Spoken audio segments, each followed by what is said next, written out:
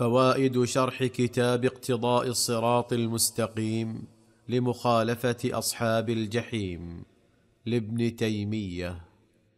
قال رحمه الله ثم من المعلوم ما قد ابتلي به كثير من هذه الأمة من بناء المساجد على القبور واتخاذ القبور مساجد بلا بناء وكلا الأمرين محرم ملعون فاعله بالمستفيض من السنة.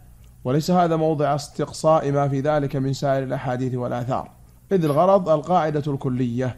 فهذا هو الغرض من إيراد هذه الأحاديث وهو لم يستوفها رحمه الله ولم يستوفي كلام أهل العلم في هذا الموضوع وإنما اكتفى بالإشارة قدر محل الشاهد وهو منع التشبه بهم في هذا الأمر.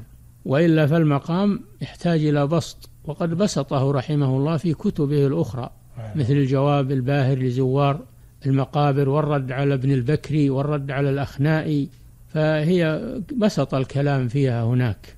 فلكن هذا المقصود هنا الإشارة إلى منع التشبه بهم في الصلاة عند القبور أو بناء المساجد عليها لأن هذا من أخطر الأنواع أنواع التشبه.